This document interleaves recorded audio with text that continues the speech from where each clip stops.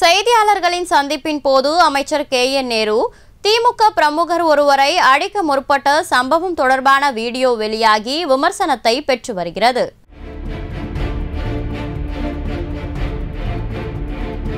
திமுக அமைச்சர்களில் அடிக்கடி எல்லை மீறிய செயல்களும் அடாவடியான பேச்சாலும் சர்ச்சையில் சிக்குவதில் முக்கியமானவர் அமைச்சர் கே. என். நேரு. மகளிருக்கான இலவச பேருந்தை குறித்து அவதூறாக பேசி கடுமையாக விமர்சிக்கப்பட்ட இவரை பற்றி மறைமுகமாக விழா ஒன்றில் முதல்வர் ஸ்டாலினும் வருத்தம் தெரிவித்திருந்தார்.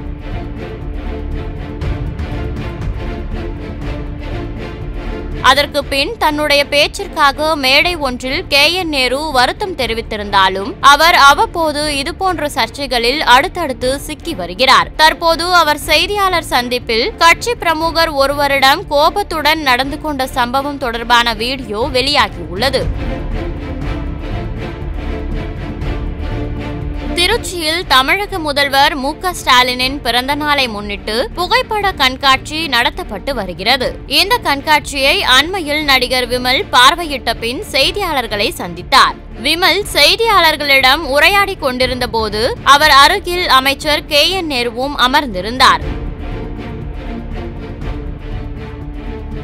விமல் செய்தியாளர்களிடம் பேசிக் கொண்டிருந்த போது திடீரென நேருவின் அருகில் நின்றிருந்த கட்சி பிரமுகர் ஒருவரின் போன் அடித்த காரணத்தினால் அவரை பார்த்த நேரு போனை ஆஃப் செய்யும்படி சற்று கோபத்துடன் எழுந்து அவரை தாக்கும் வகையில் செயல்பட்டார்.